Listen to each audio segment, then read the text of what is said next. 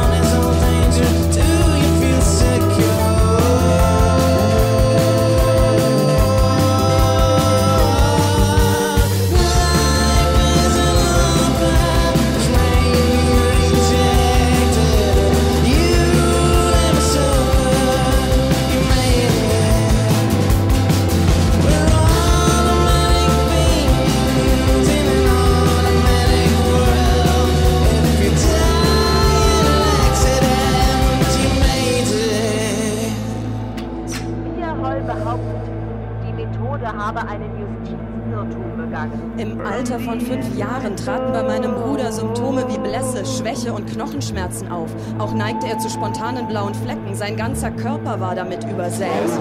Sie sollten der Methode bald erklären, auf Leukämiezellen breiten sich im Knochenmark aus. Stammzellentransplantation, die Übertragung von rotem Knochenmark. Die Methode verfügt über Datenbanken, in denen die Gewebemerkmale sämtlicher Bürger verzeichnet sind. Bei uns stirbt niemand mehr an Leukämie. Das neue. Knochenmark findet seinen Weg in die Knochen und beginnt nach etwa zehn Tagen mit der Produktion von frischen Blutkörperchen. Nach der Transplantation besitzt der Leukämiekranke die Blutgruppe seines Spenders. Er übernimmt auch das Immunsystem seines Spenders und er übernimmt die DNA.